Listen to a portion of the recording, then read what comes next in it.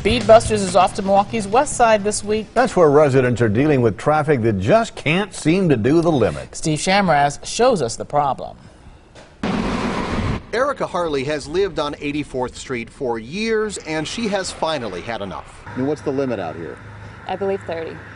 And what do they do?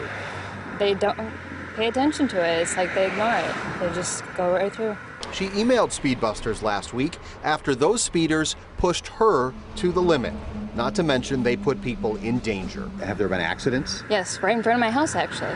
Three times in less than five years. Her house is just south of Capitol Drive on a block that looks pretty residential, but the speed limit here is routinely ignored. He's up at 40.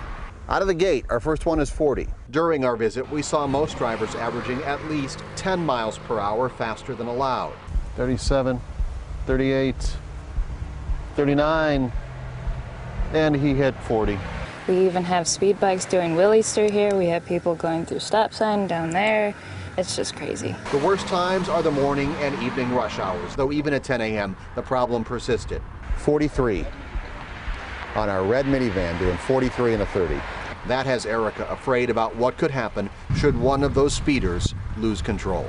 Kids wanting to play, and we have elderly people who love to take walks, and people who want to uh, walk their dogs and things like that. It makes me pretty worried. On the streets of Milwaukee, Steve Chamraz, today's TMJ4. That's pretty fast on a residential street. If you've got a street that needs checking out, contact us at speedbusters at tmj4.com.